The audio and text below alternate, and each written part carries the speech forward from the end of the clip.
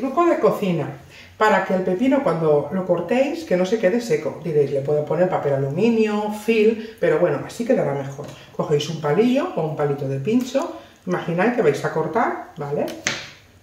Y ahí podéis poner lo que queráis, pero nunca quedará tan fresco. Si ponemos la misma, ¿ves? Lo ponemos así y ponemos un palillito. O sea que tenemos que guardar la punta. Sí, siempre estará fresquito. ほいで頼むよ